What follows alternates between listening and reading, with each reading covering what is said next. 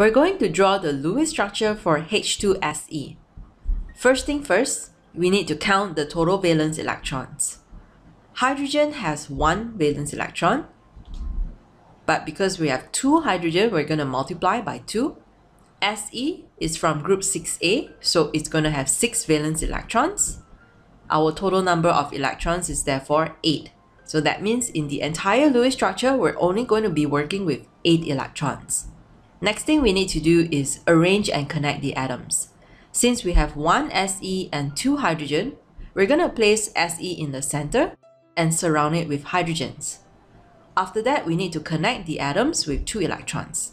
Since we place Se in the center, Se is therefore the central atom, whereas hydrogen are the terminal atoms.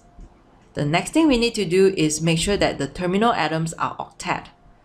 But since hydrogen is an exception to octet, it only needs two electrons. It fulfills the duet rule. So therefore, we're going to skip this part and move on to the next part, which is place any remaining electrons on our central atom, which is Se. So we are supposed to work with 8 electrons and we've already used up 4 so far. So we're going to place the other remaining 4 like this and final step, we need to make sure that our Se is octet.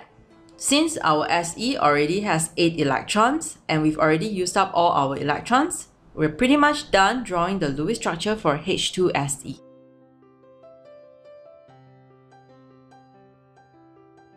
Here are the two videos I've handpicked for you. Thanks for watching all the way till the end. If you find this video helpful, be sure to like and share it with someone don't forget to subscribe. Your support means a lot to me.